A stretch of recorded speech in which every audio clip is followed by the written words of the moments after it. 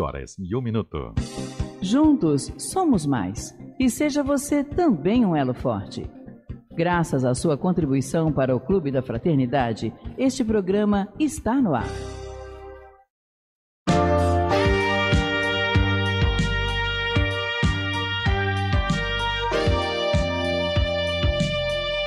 Ouvindo você. Programa destinado a quem precisa de orientação e apoio espiritual.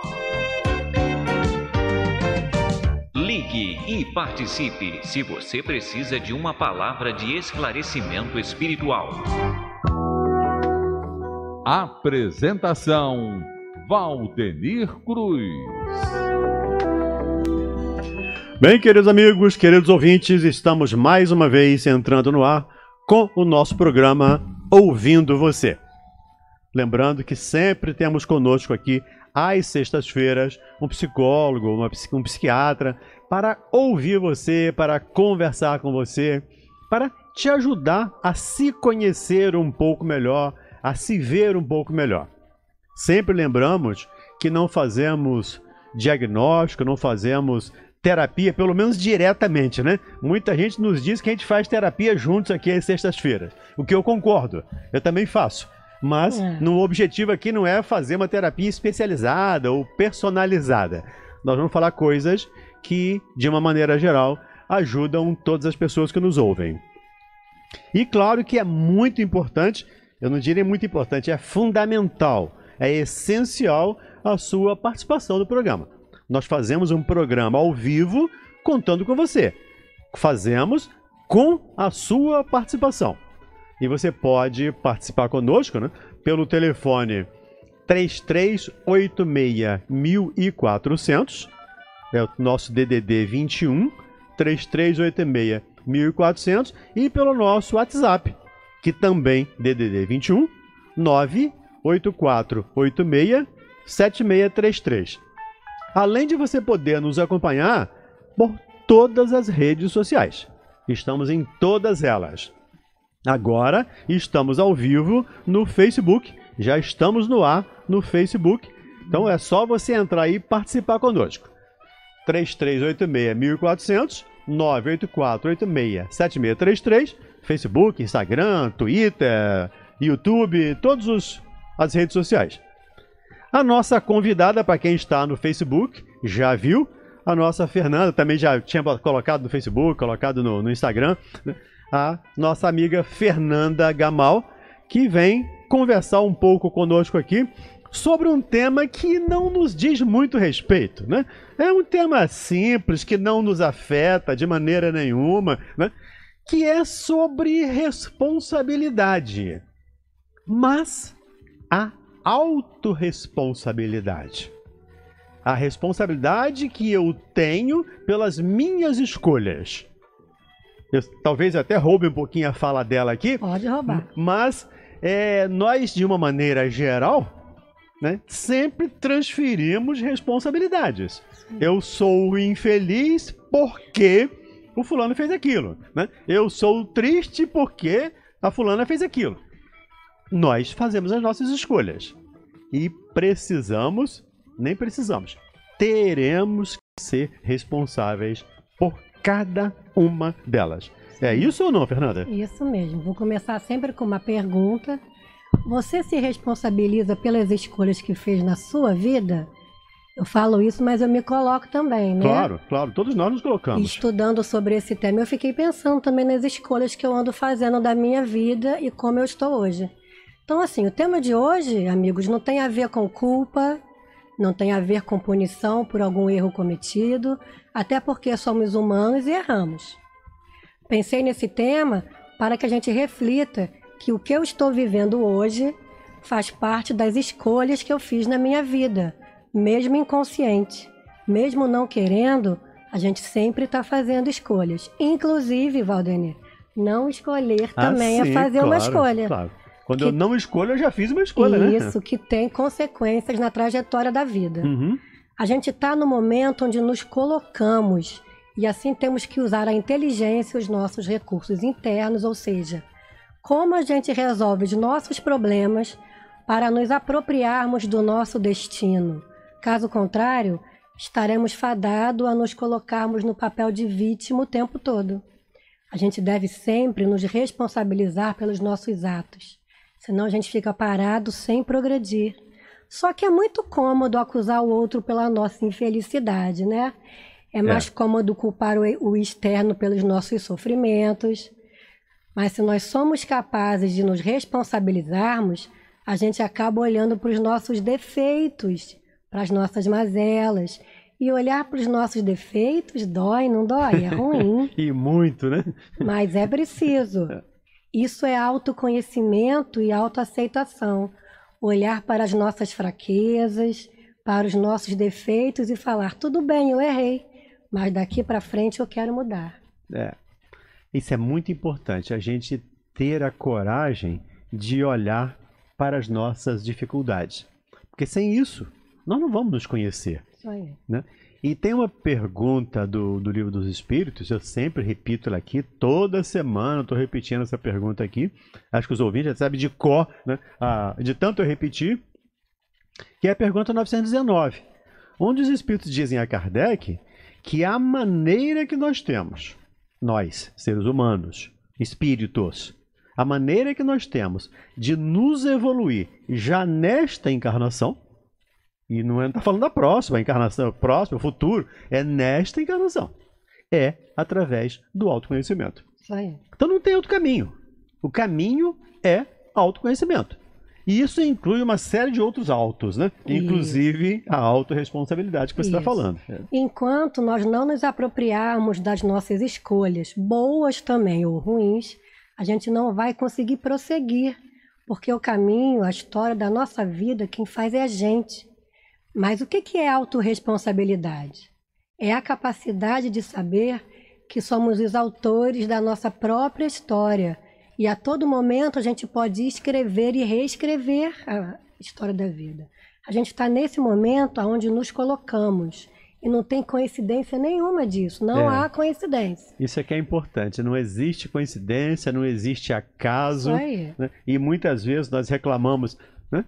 da família, do país, da pouco. cidade. Isso pois é. é. Sem querer transferir a responsabilidade para ninguém. Ela é exclusivamente sua. A semeadura é livre, é, mas a colheita, a colheita é obrigatória. É. A gente colhe o que planta. No fundo, nós sabemos dessas leis, mas é muito mais fácil, mais cômodo, com o nosso pensamento infantil e imaturo, culpar o outro. Uhum. Agora, eu quero propor é um exercício agora, ouvinte. Eu quero que a gente pare agora por alguns momentos, Valdenir, e observe como, como está a nossa vida agora, uhum. nesse momento. Sim, é. Vamos refletir lá no nosso passado e as escolhas que nós fizemos até hoje. Pense com carinho. Vocês conseguem encontrar alguma relação do que está vivendo agora com as escolhas que fez no passado? E quando fala passado, não é não está falando da vida anterior, não. É desta, desta vida mesmo. Vida. Né? E lembrando mais uma vez aqui, me permita, o, o Evangelho segundo o Espiritismo, quando fala lá das causas anteriores e das causas atuais da aflição ou das aflições. E Kardec nos diz lá que a grande maioria das nossas aflições são desta vida mesmo. Não Sim. precisamos ir lá na outra, não. Claro que às vezes a gente vai quando há uma necessidade extrema, mas as grandes dificuldades nós plantamos nesta vida, nesta encarnação. Então a gente tem que ter cuidado né, para ter esse olhar mais atento em relação a nós mesmos. Isso, e quando eu pedi para a gente fazer esse exercício, para olhar para a vida agora, gente, é sem julgamento e sem crítica. É para olhar mesmo o que, que eu fiz, o que, que dá para mudar. Né? As nossas aflições, como a Alane falou, angústias, coisas boas também, tem início no, na escolha que a gente fez lá no passado, 10 anos atrás, 20, 30, não importa. Tem a ver com o caminho que seguimos. Mas estamos Isso, hoje Fernanda. aqui. É, não quer dizer que não tem a coisa do passado, né? 10, 20, 30 ou 300 anos. O que a gente está dizendo é que a grande maioria, né, das nossas dificuldades foram criadas hoje. Isso. Mas temos também dificuldades que, tra que trouxemos, né? Lá de uma vida passada, ou de muitas vidas passadas. Isso, estamos hoje aqui vivendo a nossa colheita, Uhum. né? Agora, como a gente quer plantar brigas e colher paz? Não dá. É. Como também não dá para plantar amor e, amor e colher ódio. Então, tudo que vivenciamos é responsabilidade nossa. Mas aí você pode perguntar para mim, Fernanda, peraí, aquela pessoa me feriu, meu sócio me roubou, meus pais são complicados, meu namorado me traiu. A responsabilidade também é minha? Olha, eu vou te contar uma coisa. Isso serve para mim também. Nós deixamos a porta aberta para essas pessoas entrarem. Uhum. De alguma forma, ingenuamente talvez, a gente permitiu que eles entrassem e nos fizessem mal. Mas o que, que eu faço com isso? Sou culpado? Não. A grande maravilha da vida está aí. A gente pode recomeçar e fazer diferente. Que dói, dói, é difícil, mas se você quiser, você consegue buscando ajuda. Vamos plantar o bem, coisas boas, se apropriar das nossas escolhas. É, é interessante isso, porque às vezes, mas eu não escolhi isso. É? Eu não escolhi ser infeliz. Eu não escolhi ser doente. Escolhemos sim.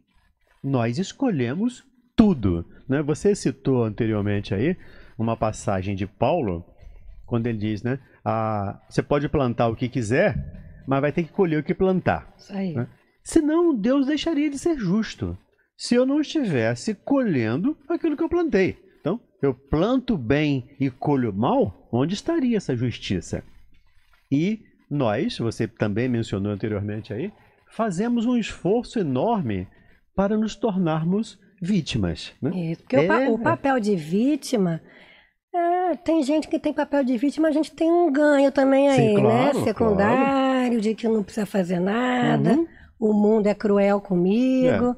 A gente tem que sair desse papel de vítima. É, com toda certeza. Ouviu, Viviane? Sair do papel de vítima é fundamental. Né? Sim. Você que está aí no carro nos ouvindo, né? a gente tem que ter cuidado para não entrar nesse papel de vítima. Isso. E na psicoterapia, a gente faz exatamente esse exercício.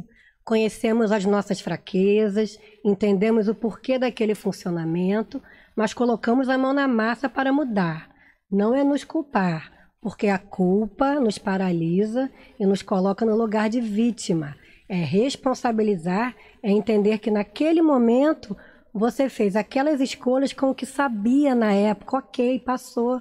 Você não podia fazer outra coisa. Na época você só pôde fazer aquilo, mas hoje você pode fazer diferente. Se perdoe, entendendo que foi o melhor que você pôde fazer. Mas se hoje eu estou sofrendo, eu preciso mudar. Porque a gente perde muito tempo, Valdemir, gastando energia olhando para o outro, culpando o outro, e perdemos a oportunidade de aprender com aquela situação que está nos fazendo sofrer. É. Porque momento de crise também é momento de aprendizado, Momento de crescimento, né? de crescimento. Eu- ontem eu recebi até uma, uma mensagem de uma, de uma paciente de consultório. Puxa, eu tive uma recaída, eu estou muito mal. Eu não pensei que fosse ter uma recaída. Aí eu escrevi, as recaídas são para né, testar a nossa vigilância, a nossa perseverança. né? Ou eu fui lá uma vez e achei que estava tudo bem, está tudo resolvido, não preciso mais pensar no assunto, não preciso mais refletir sobre isso, está tudo resolvido. Não existe mágica, ouvinte. Não tem essa coisa do pirlim-pim-pim Isso e agora está tudo resolvido. Só com muito trabalho. A Fernanda usou uma expressão aqui agora há pouco que é literal, tá? Em algumas situações literais. Temos que meter a mão na massa. Né? Quando trabalhamos com criança, por É. exemplo, né? a gente usa massa, usa argila, Argila. né? uma série de materiais para que a criança molde a sua dificuldade. Ela vai mostrar a sua dificuldade através daquela, daquela massinha que ela está modelando ali. Isso é uma maneira de se mostrar. E a partir daquela massinha, a partir daquela mostra, o terapeuta vai trabalhar para que ela possa entender e ressignificar aquele problema que ela está atravessando. Mas meter mãos à massa isto é fundamental para o nosso crescimento. Isso aí, se apropriar daquilo. Uhum. A autorresponsabilidade é olhar para o nosso interior e nos dar a oportunidade de escolha. E, a, e oportunidade de escolha nos abre um leque de opções.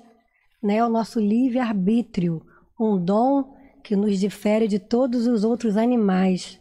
Então, que façamos do livre-arbítrio boas escolhas daqui para frente, pois temos a moral dentro de nós, que é aquela consciência profunda do que é certo e errado.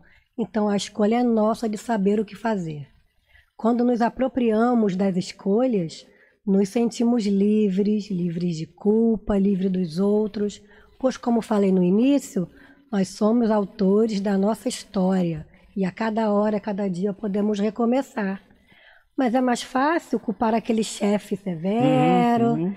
é mais fácil culpar o filho difícil, o político corrupto. Mas o que é que nós estamos fazendo? É. E é interessante você falou, né? A gente pode sempre recomeçar. E aí, eu tô vendo aqui a, a rede social, tô vendo aqui o Pode WhatsApp, tô abrindo aqui, olhando no computador, tô vendo aqui a Ivone, lá de São Gonçalo, né? Ela está com 51 anos, as escolhas dela são sempre ruins, tudo, e agora, com 51 anos? O que que eu faço? Recomeça. Recomeçar. É. Recomeça. Pode, claro que pode. Aos 51, aos 70, aos 80, pode recomeçar. Enquanto estiver vivo, a gente pode. Eu Enquanto estiver sempre- encarnado, né, a gente pode Eu recomeçar. sempre gosto de usar aquela letra da música. O show tem que continuar, Uhum, gente. uhum. Vamos recomeçar. É. E é, é, quando nós nos apropriamos das escolhas que eu que eu estava falando, né? É mais fácil culpar aquele chefe. Mas aí vocês podem falar assim, mas peraí, eu fui assaltado, eu fui insultado, eu sou responsável por isso também? Claro, claro que não, ouvi- ouvinte. Tem situações externas que fogem ao nosso controle, né?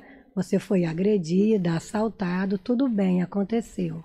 Tem coisas que não podemos mudar foi traumático, pode ter te deixado marcas. Agora é a nossa responsabilidade do que faremos com essa situação.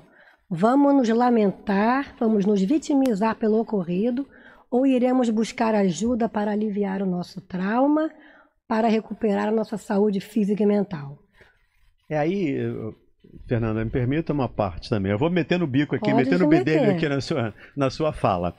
É, porque essa coisa do, do assalto, da bala perdida, né? é. É claro que nós não fizemos isto de propósito, mas entendemos que também nada é por acaso.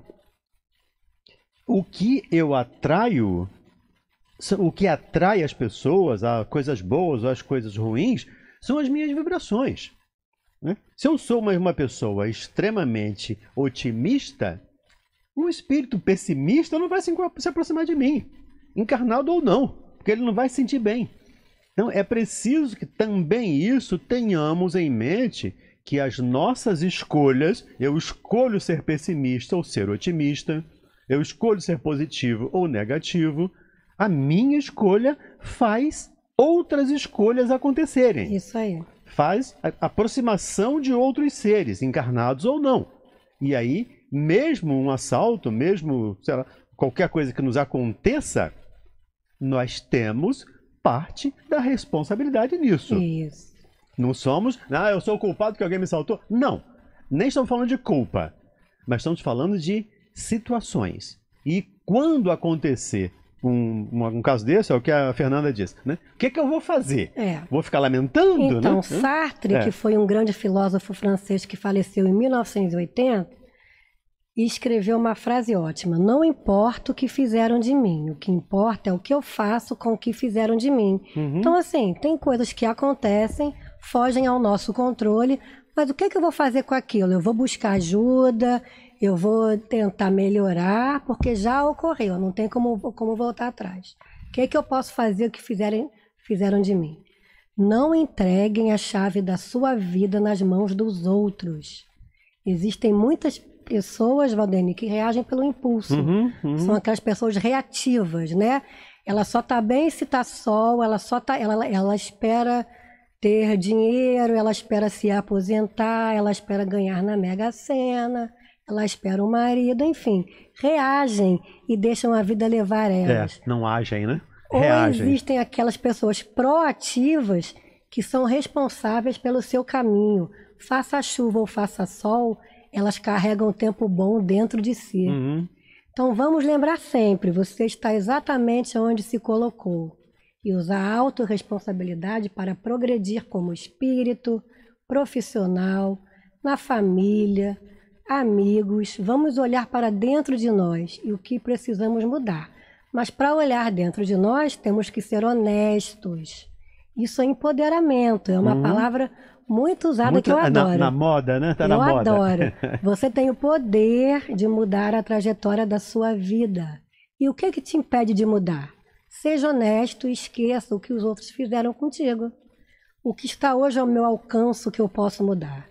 Vamos passo a passo também, né, Valdemir? Porque tem Sim, gente claro. também que é desesperada e resolve mudar e acha que de uma hora para outra vai ser tudo diferente. Não há mágica, como o Valdemir falou. É tudo passo a passo, né? Tenham calma e aceitem também as suas limitações. Ok, eu não posso fazer tudo, mas eu posso começar, Uhum. né? É, com Que nem a certeza. nossa amiga falou aí, vamos recomeçar, né? Na autorresponsabilidade também tem o medo, o medo do desconhecido, o medo do que eu vou encontrar, o medo de não dar conta. Mas nesse trabalho de autoconhecimento, o medo vira o nosso bichinho de estimação. A gente consegue Nosso encarar, pet. a gente consegue encarar ele em frente. Eu É. falo isso porque eu também sou assim. Eu tenho medo, mas eu vou em frente. Eu enfrento o medo. E o que o Valdeni falou agora, gente, a qualidade dos nossos pensamentos é extremamente importante na nossa responsabilidade, porque é pensamento, palavra e ação. E a gente atrai, às vezes, as coisas quando pensa muito negativo, quando reclama muito, se faz de vítima. Então, vamos pensar positivo, vamos mudar a frequência dos nossos pensamentos. É importantíssimo, né? Muito. É, é, é, esse pensamento, porque, a- como a Fernanda disse, né? Se eu penso negativo, mas se eu penso positivo, também vale. Tá? É por isso que é importante ter pensamentos positivos. É por isso que é importante estar otimista, estar para cima. A, a situação está difícil? Tá. Mas principalmente para os espíritas. Eu sei que eu estou falando para muita gente que não é espírita. Sim. Mas para os espíritas, os espíritas dizem que não morrem, que reencarnam, que vão ter a vida vai continuar do outro lado, que a verdadeira vida é do lado de lá. Então, por que tanta preocupação com a vida do lado de cá, né? Por que tanto empenho em salvar o corpo, me permita aqui a palavra, por favor, né? salvar o corpo e perder a alma? Já que eu sou um espírito que não vou ter fim, eu sou infinito, não vou acabar nunca, eu preciso acreditar nisso e trabalhar o máximo que eu puder para me melhorar. Isso aí. Mas não é com crítica, não é com brigas, não é com desavenças, não é com desentendimento que a gente vai conseguir essa transformação. Isso aí. É com trabalho. Com trabalho. Tem estudos que falam que pessoas que pensam positivo progridem mais na vida, porque elas estão sempre sendo resilientes, acontece alguma coisa, ela passa por cima e ela consegue, né? Coisas ruins acontecem, mas a gente se olhar com a lente mais clarinha, sem ser aquela lente do nega- ne- negativismo, da vitimização, a gente consegue olhar pela lente do ok, errei aqui, mas daqui para frente vai tudo mudar. Perfeito. Fechamos aqui então o primeiro bloco, já acabou o tempo aqui. né? Entendi. E ah, o tempo passa muito rápido. Nós voltamos em alguns minutos. Um abraço, até já. Pela Rádio Rio de Janeiro, programa Ouvindo Você. Este programa é oferecido pelo Clube da Fraternidade, que mantém a Rádio Rio de Janeiro no ar.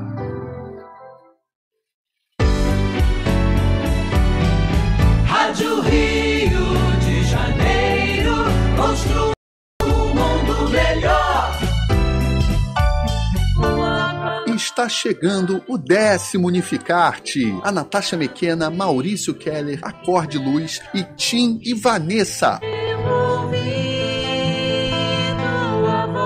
20 23 de setembro às 16 horas no Hotel Mercury, em Nova Iguaçu. Informações no 983527429. 983527429. Apoio Rádio Rio de Janeiro.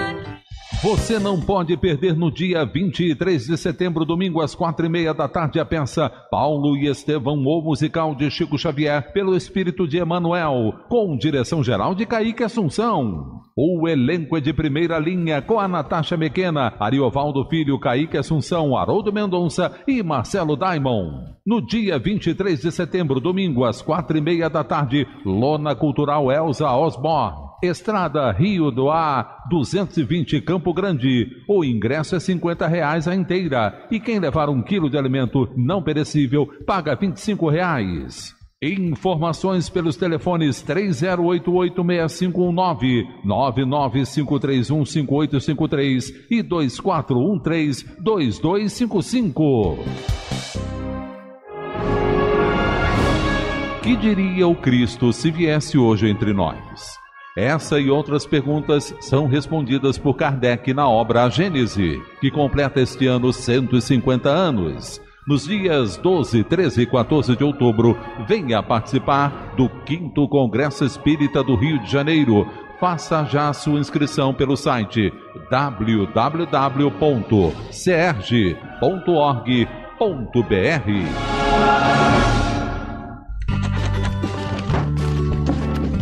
Onde está meu título? Todo ano de eleição rola a mesma pergunta, mas em 2018 seu título tá na mão. É só usar o app e-título, simples e rápido. Você pega o seu celular ou tablet e baixa o aplicativo disponível na App Store e Google Play. Depois é só acessar e inserir os seus dados. Pronto! A via digital do seu título de eleitor está aqui. Se você já tiver feito o cadastro biométrico, seu título digital virá com foto e você nem precisa levar outro documento no dia da eleição. Muito mais prático.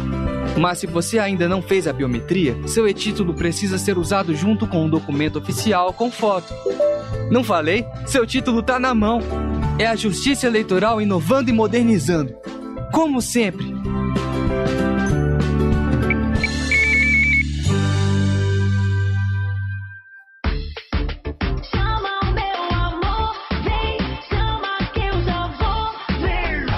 Interrompemos essa música para falar que se você quer chamar alguém que seja tudo de bom pra você, chama logo Meirelles presidente. O cara já tem um plano para criar 10 milhões de empregos e tá pagando essa campanha com o próprio dinheiro, para não ficar devendo favor a ninguém. Vote no cara que está pronto para colocar o Brasil no ritmo que todo mundo gosta, no ritmo do crescimento. Chama o Meirelles presidente. Coligação essa é a solução MDB PHS.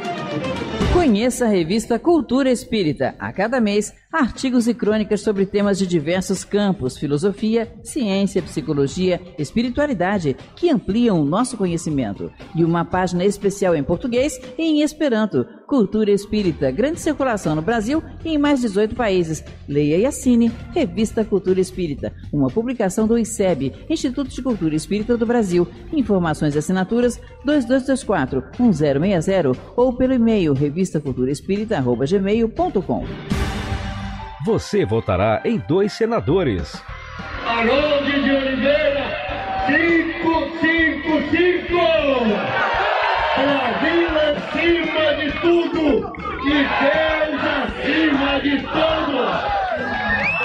555 Harold de Oliveira Por um Brasil melhor 555 O meu senador.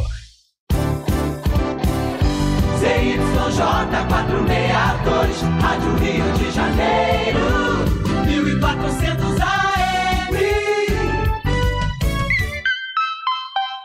13 horas e 30 minutos.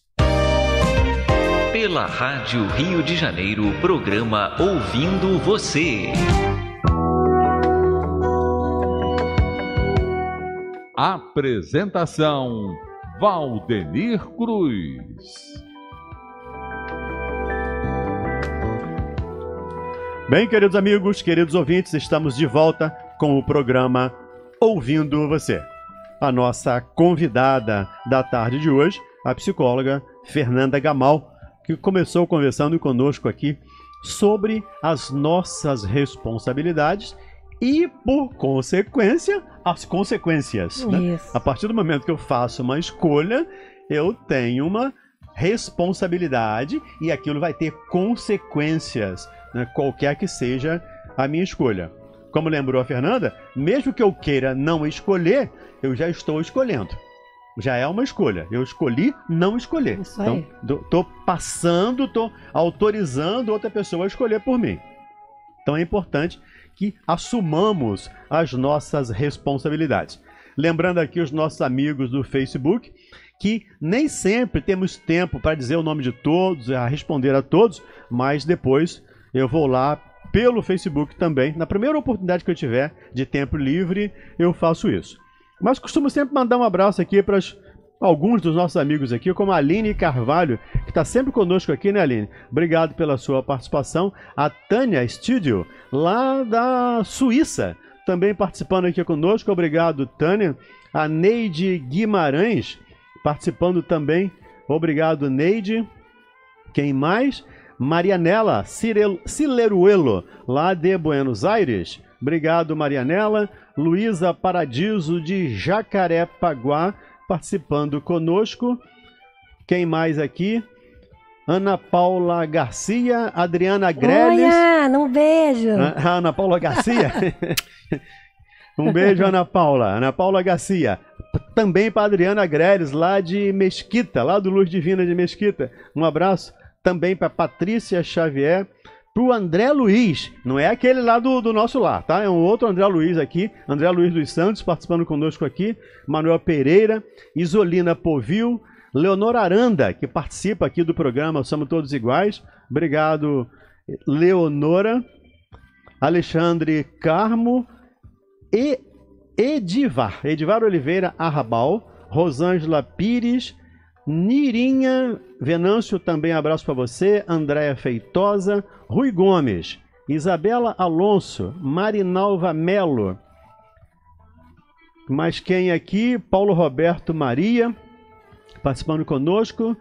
As, as perguntas aqui depois eu respondo. né? A Raquel Xavier participando.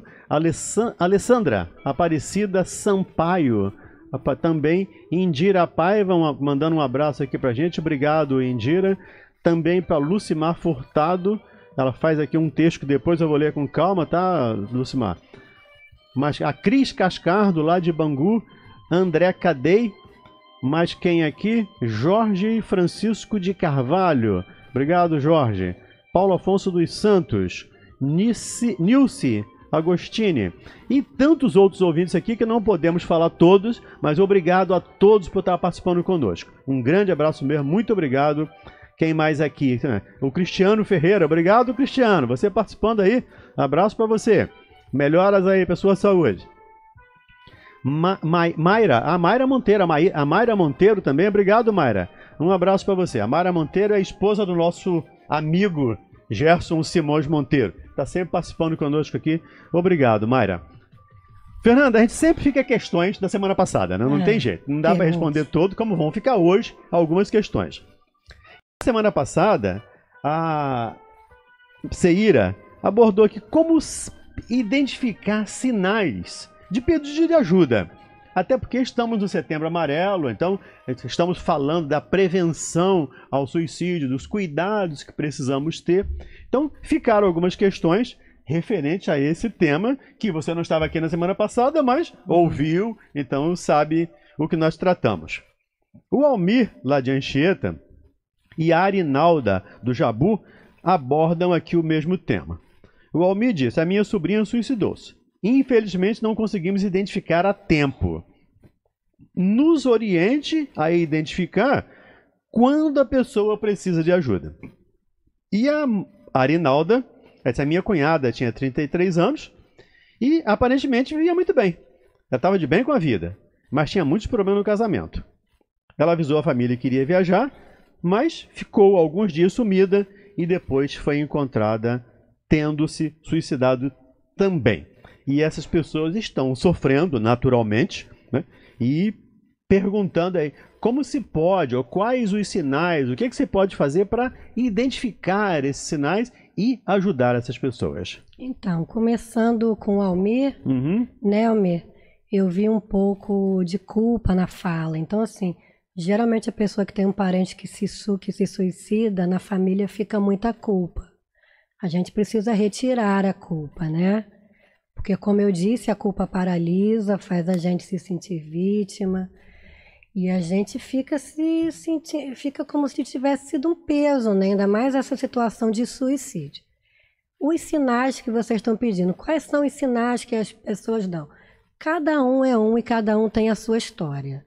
O que eu posso dizer é, a pessoa quando está em depressão, ela precisa de ajuda. Tem muitas pessoas que a gente muita a nossa cultura ainda ela não valoriza muito, né, a depressão, Sim, as sim. doenças psiquiátricas. E a gente acha que a pessoa vai dar conta, vamos em frente, tem a força de vontade, e às vezes não, quase sempre não. Precisam de ajuda.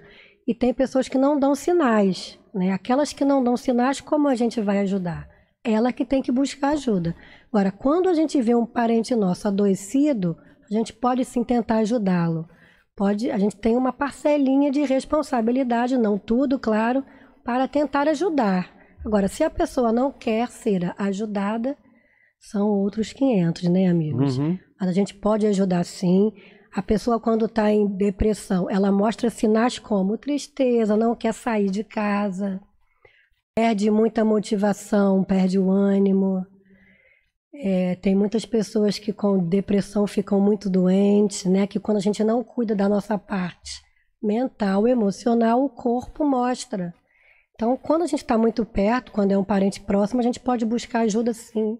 E se ele quiser, claro, levar ao médico, ao psicólogo. É sempre bom a gente ficar de olho. O que acontece às vezes é famílias que não olham umas para as outras.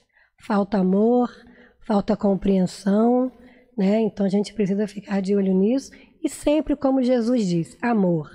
Na nossa família, por mais difícil que seja, temos que compartilhar o amor. É, perfeito. E hoje em dia, né, com a, a, a- a- Fernanda falou aqui, né, temos que olhar um pro- para o outro. E hoje em dia nós mandamos WhatsApp, né? Isso A aí. pessoa está lá na sala, eu estou no quarto, eu mando a mensagem de WhatsApp lá na sala para ele, ó, É. né? Eu estou assim, faz assim. E a gente está É verdade. perdendo esse hábito. E, por favor, não estou aqui condenando a tecnologia. Nós precisamos dela, ela é importantíssima. Mas precisamos também ter esse cuidado do olho no olho. Porque esse olho no olho é que vai me, vai me fazer perceber que o meu parente está diferente. Ele está com um olhar diferente, ele está pensando diferente, ele está agindo diferente, mas só olhando, senão eu não consigo. Então é importante. E alguns sinais, né, como a Fernanda disse, cada um tem uma característica, alguns Isso. não dão sinais nenhum. Então, é. é, como diz aqui a Arinalda, a pessoa estava de bem, de bem com a vida, disse que ia viajar e acabou viajando uma viagem né, sem volta. É, mas a gente não tinha sinal. Então a gente tem que ter esse cuidado também. E não se sentir culpado por isso. aí. Agora, lembrando, os nossos irmãos que se foram, desta ou de qualquer outra maneira, precisam muito das nossas preces. Precisamos sempre lembrar deles com carinho, com respeito, com amor. Não é com crítica, não é achando que aquilo foi covardia, porque ninguém se mata para acabar com a vida. As pessoas que se matam, se matam para acabar com a dor. E se ela souber que a dor não vai acabar, se ela tiver essas informações, fica mais fácil. E aí eu atendo uma pessoa de 80 e tantos anos que faz um processo terapêutico maravilhoso, uma pessoa fantástica, e ela me disse: Eu só não me matei porque eu li o livro da Dona Ivone Pereira, chamado Memória de um Suicida. Então, é o conhecimento também pode nos ajudar. Né? Conheça a verdade e a verdade vos libertará, nos disse Jesus. Tá bom? Queridos amigos aí, nós às vezes alongamos um pouco nesse tempo porque é importante falarmos da prevenção ao suicídio, da preservação da vida, né? Isso. É importante que falemos da preservação da vida. E se a gente linkar com o tema, se cada um for responsável pela sua vida, pelas suas escolhas, o número de suicídios vai cair. Porque a gente vai se conhecer, vai se olhar, saber por que estamos, estamos sofrendo. e vamos buscar ajuda. O grande problema é a gente não dá muita atenção às nossas dores, a gente acha que vai passar, a gente acha que a gente vai numa festa e aquilo é tristeza que passa, e às vezes não, amigos. Se cada um olhar para si com carinho, com autoconhecimento, tenho certeza que o número de suicídio vai cair muito. É, com toda certeza. O nosso amigo Enéas, lá de Brás de Pina, sempre participando conosco, né, Enéas? Obrigado. Um grande abraço para você. Ele disse aqui: Eu não sinto mais vontade de fazer nada. Lembrando que o nosso, essa aqui é perguntas da semana passada sobre como identificar sinais que nos caracterizem uma desistência da vida. tá? Ele disse: Eu não, tenho, não sinto vontade de fazer nada. Sinto que a minha vida acabou depois que fiquei cego. Gostaria de uma orientação de vocês para sair desse buraco. Palavra aqui do Enéas. Então, Enéas, buscar ajuda, né? Cada um sabe a dor que tem. A nossa dor sempre é maior do que o outro, porque é a nossa dor. Tem muito isso, né? A gente às vezes acha, ah, ele tá sentindo dor e tá achando que a dor dele é maior que a de todo mundo. Porque é a nossa dor. Então, se é a nossa dor, a gente realmente acha que é a maior. A gente sabe que você está sofrendo muito, mas Enéas, busque ajuda. Você está vivo. Você está vivo. É, a gente sabe da sua dor, da sua luta, mas buscar ajuda é importantíssimo nessa hora, para que você entenda, se compreenda, encontre outras formas de prazer, outras formas de viver a vida. O Enéas, nós já lembramos aqui outras vezes, você participa sempre conosco aqui, o que a gente agradece. Mas lembramos, não, é? não há efeito sem causa. Né? Todos os que nós estamos passando hoje são efeitos de causas anteriores.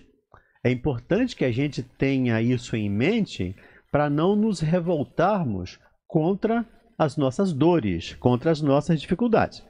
É olhar para isso, o que, que eu posso fazer para melhorar? O que, que eu posso fazer para crescer? O que, que eu posso fazer para na próxima encarnação eu ter minha visão né, perfeita? Até porque você já está com, pelo que você diz aqui, você já está com uma idade avançada. Então, o que, que eu posso fazer para na próxima encarnação eu ter a minha, minha visão perfeita? É preciso, Enéas, trabalhar hoje. É preciso plantar hoje. Porque você só vai colher aquilo que você plantar. A Fernanda falou isso aqui no início do programa. Eu lembrei que é Paulo escrevendo aos Gálatas. É. Então, é importante ter isso em mente. Tá bom, Enéas? Grande abraço para você e conte aí com, a nosso, com o nosso carinho, com o nosso calor, com o, no- o nosso abraço aí para você. Um beijo, Enéas. A Marcela, lá de Ramos. É interessante isso aqui, a Fernanda. Ela diz: Tenho 80 anos e preciso de uma palavra de consolo, pois descobri que aos 80 sou egoísta. Isto está mexendo muito comigo e me fazendo mal. Por favor, me orientem a melhorar. Marcela, maravilha que você descobriu que você é egoísta. Bem-vindo ao clube, ótimo. E o que, que você vai fazer com isso agora, né? É muito importante olhar para os nossos defeitos, foi o que eu falei no início. Você está se autoconhecendo. E o que, que você pode fazer? Já que você já viu que você é egoísta, vamos mudar, né? Não precisa se sacrificar e se colocar no lugar de vítima. Sou egoísta, ok, todos nós somos. Somos humanos. Egoísmo, a gente luta eternamente contra ele, né, né Com Valdemir? certeza. é. Mas já que você descobriu, maravilha. Agora que está mexendo contigo, como você disse, que mexa de uma forma boa, né? Procure ajuda, que você vai melhorar com certeza. A consciência do que a gente tem dos nossos erros, dos nossos defeitos, é o primeiro passo para a mudança. Ninguém muda, Marcela, se não reconhecer. E foi muito bom. E aos 80 anos, você poder olhar para você e dizer: Eu sou egoísta. Que bom. Que Não bom. é para se punir, não é para se castigar. É para a partir daqui o que que eu posso mudar. E garanto, Marcela, Marcela e todos os nossos ouvintes, mas garanto que você não vai te- eliminar todo o egoísmo nessa encarnação. Fique tranquila quanto a isso. Como eu não vou eliminar o meu. Né? Todos nós temos alguma coisa de egoísmo. Não somos egoístas, temos partes de egoísmo em nós. Mas nós temos parte de altruísmo, temos partes boas de solidariedade, de amizade, de caridade, de amor. Também temos isso. Nós somos uma mistura ainda, Marcela, por sermos espíritos imperfeitos. Mas como você descobriu, que bom. Né? Você não É. precisa nem do processo terapêutico. Você descobriu que bom. Então fica muito mais fácil a partir de agora trabalhar sem se punir. Tá bom, Marcela? Um grande abraço para você. E uma amiga lá de Nilópolis que pediu para não se identificar, ela disse que tem uma irmã que está passando por um processo difícil. Está sendo agredida fisicamente pelo companheiro e o marido, né, tá batendo na irmã dela e no sobrinho, que é filho da irmã. Mas a irmã não está querendo ajuda, não quer, se afastou da família. E ela pergunta, essa amiga pergunta aqui, como eu posso fazer para ajudar a irmã e o sobrinho que estão passando por uma dificuldade? Será que eles poderiam até chegar ao suicídio em função disso? Lembrando que é o tema da semana passada ainda, é a última questão da semana passada. Querida, a gente sempre fala assim, a gente só consegue ajudar alguém quando a pessoa quer ajuda. Né, Eu acho que você não vai conseguir Vou ajudá-la. aproveitar então para responder aqui a Sim. Ana, de Jacarepaguá, porque ela faz a, minha, a, a ideia é a mesma. Hum, Como saber o limite de ajudar as pessoas? No caso dela, ela tem familiares que, quando o erro continua a ser repetido, eu deixo elas resolverem seus problemas, pois posso estar atrapalhando. Mas como está esse limite de ajudar e não atrapalhar? Aonde, até onde eu posso ajudar ou não ajudar? Aproveitar Então, para responder as duas. né? Ótimo. A gente, tem, a gente tem a mania de querer ter o controle de tudo, né? O controle da situação. E às vezes a gente se acha responsável, o tema de hoje, pela vida do outro, pela vida da irmã, pela vida da amiga, e não. A gente pode oferecer ajuda, ok. Eu acho que vocês estão fazendo isso. Mas é a pessoa que vai ser responsável de aceitar a ajuda ou não. O que acontece aqui no texto que eu li os dois, que o Valdani falou, tem muito de controle também. A pessoa quer controlar a vida do outro ali, quer que a pessoa mude. Não dá, meus amigos, não dá. A pessoa só muda se ela quiser. Eu sei que é sofrimento, é sofrido. Você vê, você vendo sua irmã, seu, seu sobrinho sofrer. Mas o momento da consciência dela de que eu preciso de ajuda é que as coisas vão mudar na vida dela. A gente pode fazer o seguinte por ela, irmã: orar, fazer prece por ela. É isso. Ore pela sua irmã. É o que você pode fazer hoje. Não podemos forçar ninguém a receber a nossa ajuda. Porque Deus não nos força. Deus não nos obriga. Ele nos dá a liberdade, nos dá o livre-arbítrio. Só que eu tenho que responder por isso. É a escolha, de novo, né? A responsabilidade da escolha. Isso aí. Então, tudo ah, vai acabar se resumindo na responsabilidade da escolha. Então deixa que ela responda pela escolha. Quando ela quiser ajuda, você está aí pronta para ajudar, tá bom? A Lúcia, lá de Duque de Caxias, faz um texto aqui bem grande, Lúcia, que eu não vou nem ler o seu texto, eu li aqui enquanto a Fernanda estava falando, tá? Eu estou girando aqui entre várias telas aqui para poder dar conta de tudo. E o que eu posso dizer, Lúcia, um quadro ou um objeto material pode até atrair um espírito, sei lá, uma entidade que não esteja tão evoluída. Mas o grande imã dos espíritos, bons ou maus, são os nossos pensamentos, as nossas ações, os nossos atos. Se você olhar um quadro como só um quadro de arte, é um quadro, é uma pintura. Não sei, não sei quem era, não sei o que ele representava. Eu tenho um quadro desse no meu consultório. Eu tenho um quadro desse mediúnico lá no meu consultório. É mesmo. Eu não sei quem era, não sei quem foi, não, não, não interessa. Eu olho aquilo como uma obra de arte. É aí. bonita. É isso que interessa pra gente, tá, Lúcia? Agora, purifica, me permita aqui a expressão. Purifica o seu pensamento. Pense coisas boas, como nós falamos aqui no Como início do programa. Né? Pense coisas positivas e você vai atrair espíritos positivos. E a sua cachorrinha não morreu porque você queimou um quadro. Em absoluto. Ela morreu porque tinha que morrer. Ela estava na hora dela morrer mesmo, uma doença, qualquer coisa. Mas não é porque você queimou um quadro que um cachorro vai morrer. O que pobre cachorro tem a ver com isso? Né? E, e ainda mais um cachorro que não raciocina. Por consequência, não tem culpa. Ele não tem erros, ele não tem pecados. Por que, que ele pagaria por um erro de alguém? Tá bom, Lúcia? Um grande abraço para você e obrigado aí pela sua participação conosco aqui. Um grande abraço mesmo para você. O nosso amigo lá de, de Niterói. Me chame de amigo de Niterói.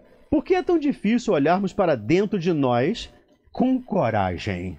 Pergunta lá o amigo. Olhar para dentro de nós é muito difícil porque a gente enxerga como a nossa lente vai mais para o que a gente não gosta, a gente enxerga mais nosso, nosso, nossos defeitos.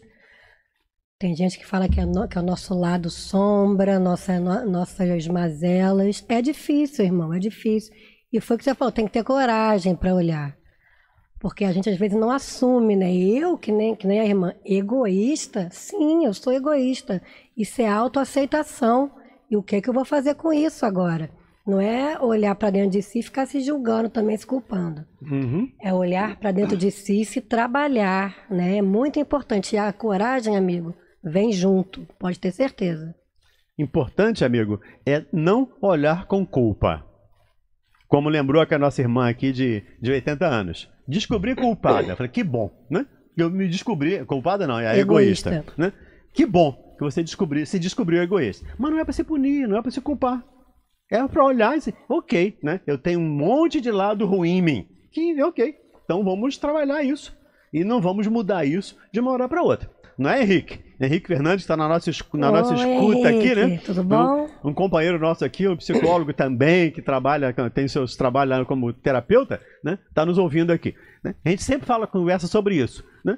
Sem culpa, porque a culpa só vai nos atrapalhar.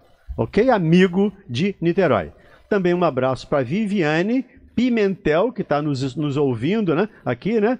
Boa tarde, Valdemir Fernanda. São fatos, podemos acreditar que resignação tem o poder de anular o impacto do sofrimento?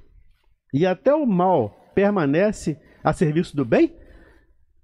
Ou- ou- ah, esse aqui quem pergunta é a Cristiane, lá de Campinas. Ela pergunta, né, se a resignação pode anular o impacto do mal. Não, Cristiane, só a resignação não.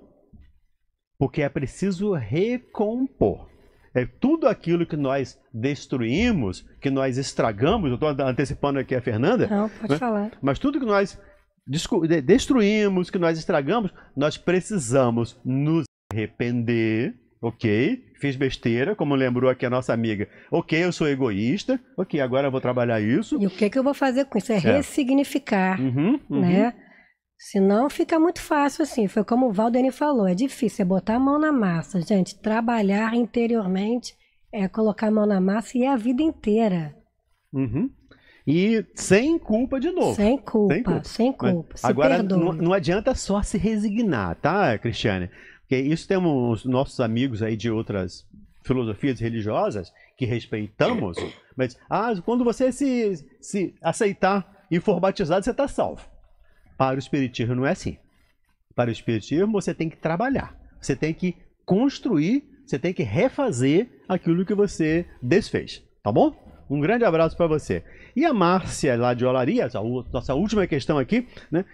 Quantas as minhas escolhas sempre foram muito ruins, mas hoje, aos 54, penso muito diferente e acredito que já sei escolher.